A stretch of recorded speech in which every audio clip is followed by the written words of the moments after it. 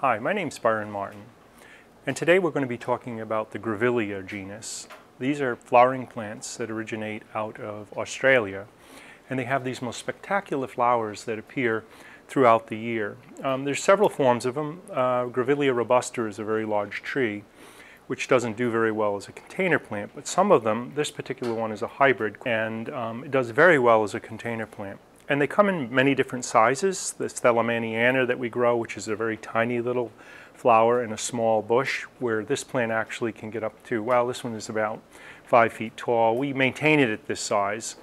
Um, it would actually get bigger, but in its native habitat, it's actually used as a shrub or a hedge um, throughout Australia. Um, they flower throughout the year, and this is wintertime that we're in now in Connecticut, and the light level here is really not that great. It's um, in our cold greenhouse there's a lot of shadow on it and so on and you can see the plant is still flowering and budding up. So probably not a day that this particular um, cultivar of grevillea is not in bloom for us. And the flowers really are quite spectacular. This time of year the colors are a little bit soft. Um, they get very bright colored as we get um, into the higher and stronger light level of summer time the key to growing grevilleas is to um, grow them in an acidic mix. And for that, we use a mix of half peat and half perlite, 50-50, and we don't feed them. Uh, we have a sign that says, you know, make sure they don't get fertilized. They do need fertilizer, however, it's the middle number in your formulation, the phosphorus, that will actually kill them.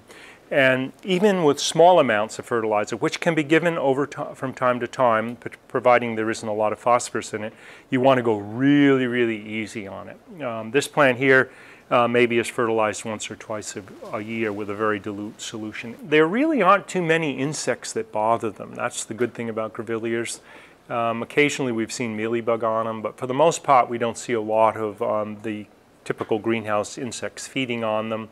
Uh, there can be some issues with um, fungus, uh, botrytis funguses on the um, foliage if the air is stagnant, but that's usually something that um, you just have to dry things out a little bit, and um, that usually goes away.